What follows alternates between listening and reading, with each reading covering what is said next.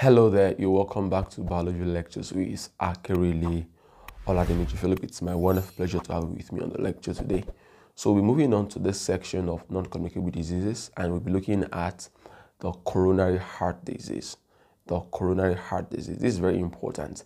Now looking at the diagram or the picture on the screen, you'll see that this is the heart, of course. Then this segment in the heart seems dark or different. And that's because the cells there are dead. And why are they dead? Look at this blood vessel right here.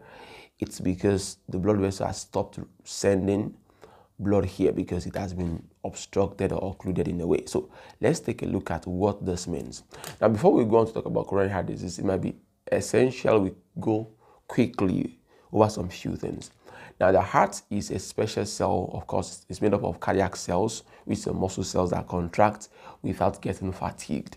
Now, it needs what?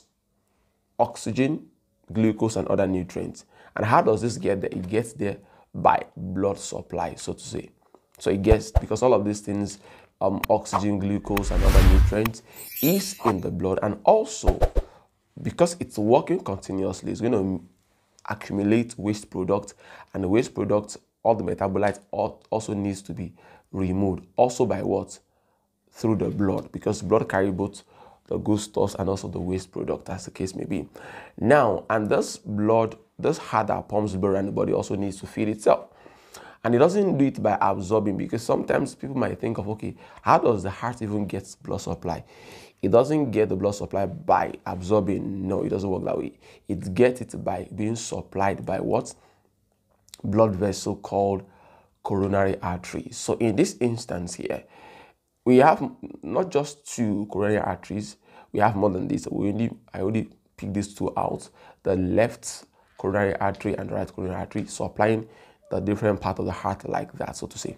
But please pay attention right now. So as the blood is coming out of the aorta, these two and other ones branched out from that to supply the whole wall of the heart. So this is the basics of how the heart receives nutrients and how the heart, because uh, how the heart also gets rid of waste product. Also, we have coronary vein. Yes, so we only I only used coronary artery here for the moment, but we have coronary veins too. So the coronary veins are the ones that are going to take away the deoxygenated blood and add it to the vein returning back to the heart, so to say. Now let's go on. So this is a further explanation into each of the cardiac cells. So you can see cardiac muscle, it has a lot of mitochondria there, which tells you that it needs a lot of energy because it's working. As a matter of fact, the heart is one of those organs that work at all times. It has been working before we were born, like it's been working during pregnancy.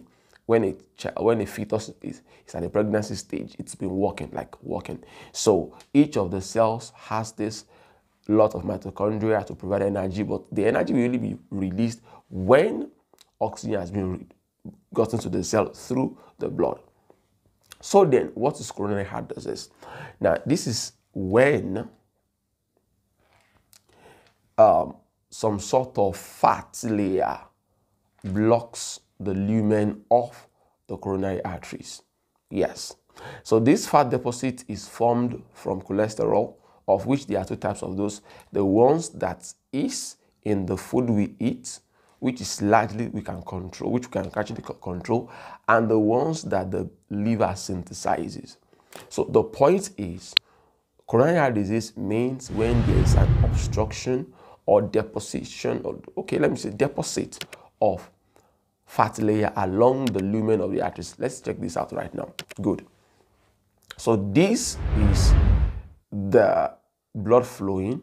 See the fatty plaque, or I don't know if it's plaque or plaque, based on okay, but let me just stick to to the plaque here. So here, this is the plaque built up from cholesterol. You can see that. Can you see how the blood is just passing through the small space left?